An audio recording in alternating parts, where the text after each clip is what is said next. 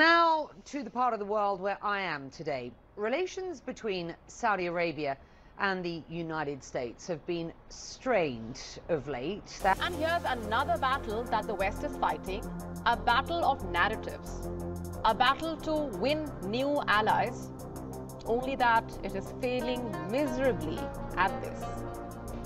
Forget new allies, even old friends of the West are ditching it like Saudi Arabia.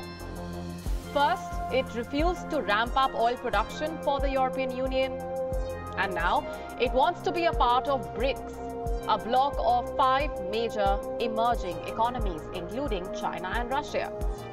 Will Saudi Arabia join the BRICS?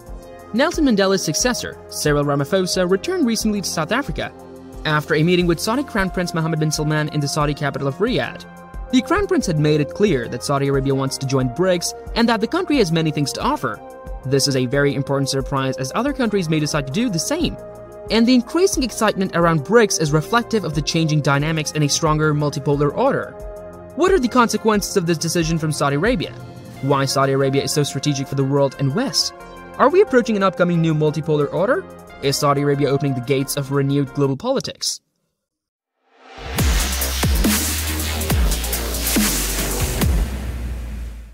Hello everyone, welcome back to Edge Capitalism. We analyze how power and value is created in the world. Today's video can redefine the way nations have interacted with each other for decades. The reason is that after the COVID pandemic, new countries are increasingly forecasting what alliances may be more convenient for them and for their regions. This can rapidly change the future of politics. Although many people are unaware of this, the reality is that these changes are happening now, and they're happening very rapidly. In this video, let's dig deeper into the reasons and consequences of Saudi Arabia joining the BRICS. Let's get started. The BRICS nations are a coalition of the five of the largest economies that do not belong to the G7. These economies are Brazil, South Africa, China, India, and Russia. The goal of the BRICS is to support the multilateral political and economic development of the nations that do not include the Western Bloc of the European Union and the United States with Canada. To promote their mission, the BRICS have created a development bank, the new development bank with an initial funding of $100 billion.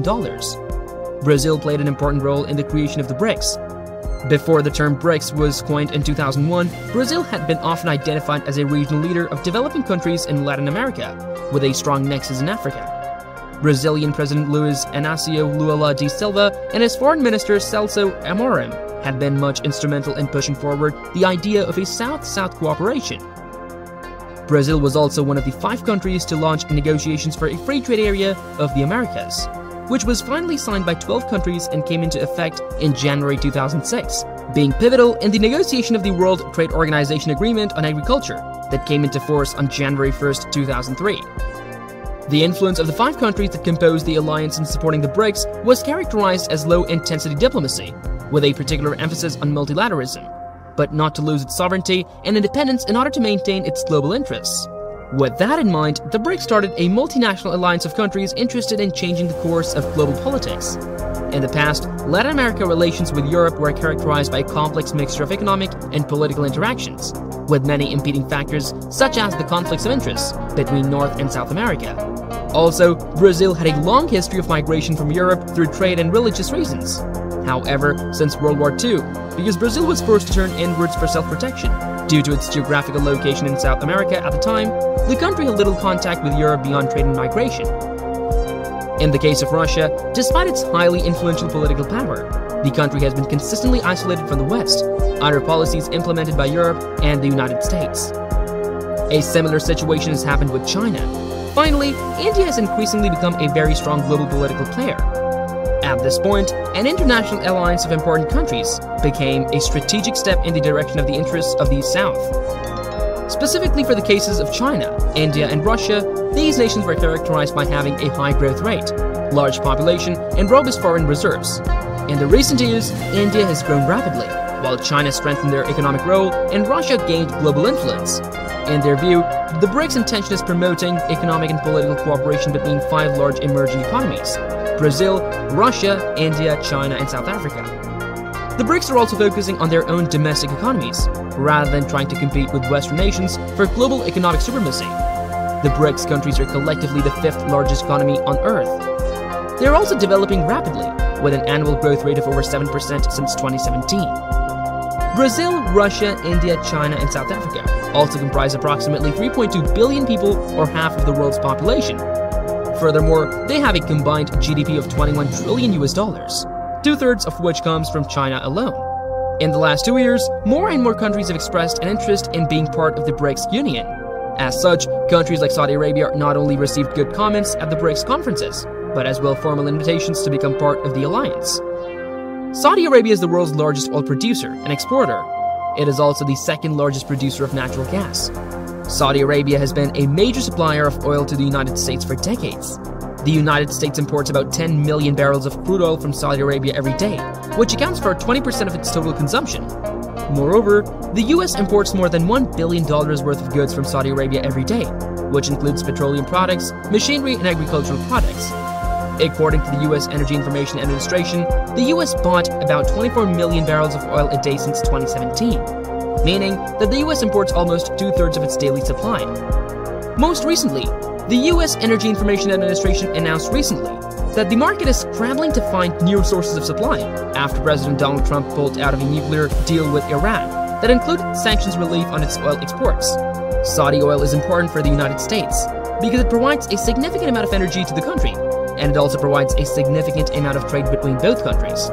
Saudi Arabia can become rapidly a key player in the future of the BRICS nations. It is one of the most influential countries in the East region and has a lot to offer to this group. Saudi Arabia has been an important player in the Middle East for decades. It has been a major player in regional politics and economies, and it is also one of the wealthiest countries in the world. Saudi Arabia's influence in regional affairs will be crucial for any future multilateral order that may emerge from BRICS Plus or any other international group.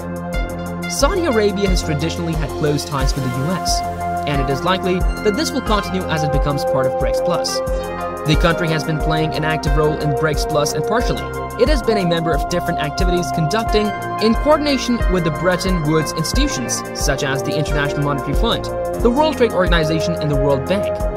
Saudi Arabia's foreign policy also has close ties with Russia and China, as it counts these two countries among its top trade partners. In addition, Saudi Arabia is a member of the Organization of Islamic Cooperation OIC, which is led by Turkey and shares diplomatic relations with China and Russia. Despite all that, Saudi Arabia also has strong ties with France, the US, Britain, Germany, and Japan. Despite its strategic role, not everything is so easy for Saudi Arabia. In 2012, Saudi Arabia became a full member of the Shanghai Cooperation Organization. This created a big concern of the United States that has since criticized the Riyadh government, but keep buying their oil. Saudi Arabia is also one of the first members of the African Development Bank Group. In November 2016, it was revealed that Saudi's Minister of Finance Dr. Ibrahim Al-Assaf had been appointed to sit on the board of directors for Africa Development Bank Group, ADB. The appointment was effective from 1st November 2016 until 31st October 2021 and strengthened the political and historical relations of the kingdom with Africa. This is why the president of South Africa, Cyril Ramaphosa, when back in the country after meeting with the ruler of Saudi Arabia in Riyadh, claimed that the BRICS will require a strategic alliance with the kingdom. Moreover, the Crown Prince had made it clear that Saudi Arabia wants to join BRICS and that the country has many things to offer.